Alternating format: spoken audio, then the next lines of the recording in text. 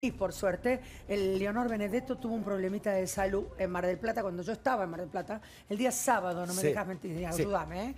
¿eh? este, mm, estaba en una radio y empezó a hablar como a arrastrar las palabras. Eso hay que tener cuidado cuando eh, alguna persona eh, de la familia, algún amigo empieza a hablar y empieza a arrastrar la palabra o no dice la palabra correspondiente. Quiere decir vaso y dice heladera. Sí. Y entonces eh, hay que tomar este hay que ser precavido, es decir, hay que estar urgente, hay que ser rápido. Así es. Bueno, eh, sabemos que el, el ACV es una afección que afecta a muchísima gente en el mundo.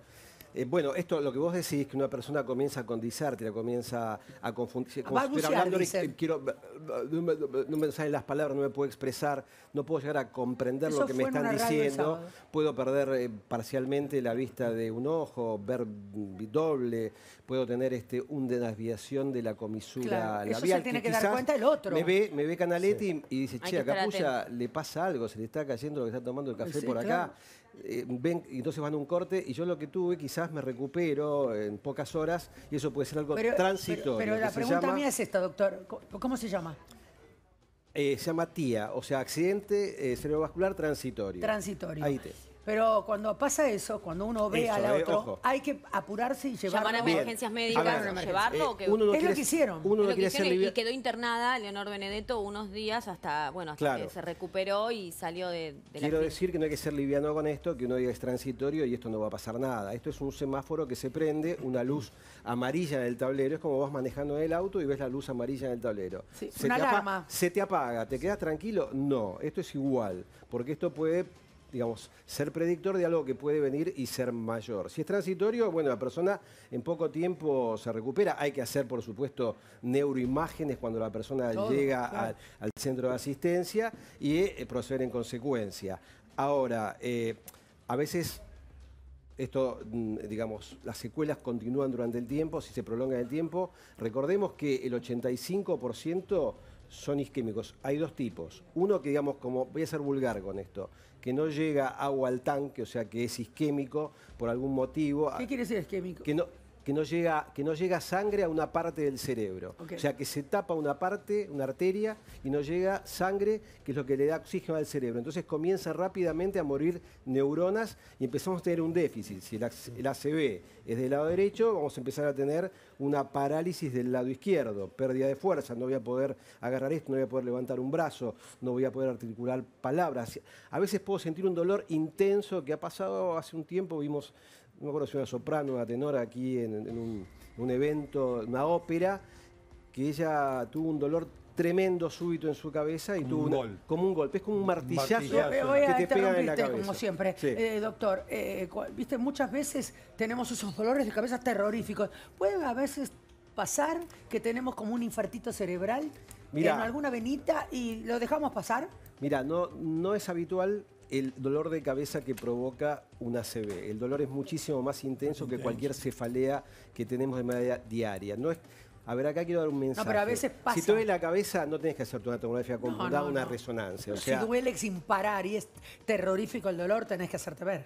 hay- generalmente hay una connotación entre el dolor y alguna, alguna una alteración en el examen neurológico. No es solamente el dolor de cabeza, eso va acompañado de un correlato neurológico. Obviamente, si una persona tiene un dolor súbito de cabeza inesperado, Yo tengo una amiga, distinto, Lidia, que cuando le pasa eso va seguida a emergencias porque tiene, ya tiene, es como una enfermedad. el dolor de cabeza es terrorífico. Bueno, es otra cosa. Eso, eso, claro, tiene que ver con las Migraña. migrañas. ¿eh? Hay muchos tipos de migrañas.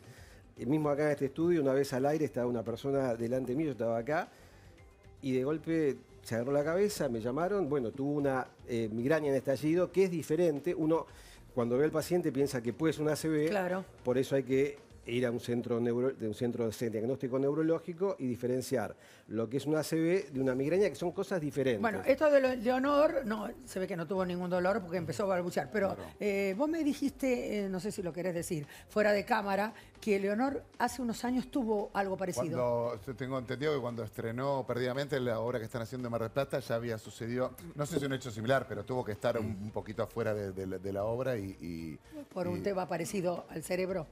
En el cerebro, no en otro lado del cuerpo. ¿Sabés que ahora se me confunde si Bueno, no era bueno, ella u otra? Por eso no lo eso- quiero hablar por al eso, puente. entonces, por las Porque- dudas, pero- Sí, Decime. yo hablé con José María Muscari ayer y hablé con Ileana Calabró. Sí. Eh, por supuesto Porque que ella está haciendo perdidamente una Sí, obra de Muscari maravillosa. Mirta Wons, Emilia Mas, Además han Liliana ganado Calabró, premio. Ana María Piquio, han ganado premios y, y por la propia Leonor Benedetto. Eh, a mí lo que me dicen es que ella enseguida se, se recuperó. Esto fue el sábado, se suspende su trabajo del sábado, la reemplaza Laura Espínola, que además es este, asistente y productora ejecutiva de Y la obra. reemplaza- y Se reemplaza lo- todas. Se sabe los cinco roles. Eh, el día mm, lunes ya le dieron el alta, ayer, perdón, el domingo le dieron el alta. El día lunes ella quería ir a la función, le dijeron Ah, tomate ¿sí? un día y quiero que eh, hoy quiere hacer la función y le dijeron Eso es- tomate un par de días más, pero Igual, creo que hoy va a si ¿Qué, le estar qué harías como doctor? ¿Le aconsejarías que sí? Que A haga? ver, yo no, digo, no es paciente mía, no vine con imagen, no, no sé qué es lo que tuvo, no sería Pero bien- si estuvo un día interna y le dieron el alta, después de un día creo Fue que algo leve, tan- fue leve, está muy bien. Claro, hay que ver qué es A lo que tuvo, hay que ver qué es lo que tuvo y si no es nada, ningún episodio que digamos que pueda comprometer desde el punto de vista vascular su salud cerebral, bueno, si le dan el alta para que vaya a trabajar, seguramente no tiene 80, nada. La tiene Recordemos, mira, estaba recordando. que le dieron el es sí alta- de un empresario, Sí, ¿eh? sí, sí, la No, tiene. obviamente que la Estuvo tiene. internada No, y debemos decir que, bueno, tiene 82 años. Sí. Leonor Benedetto está bárbara. Espléndida. está La vimos está en los. Estrellas de Mar.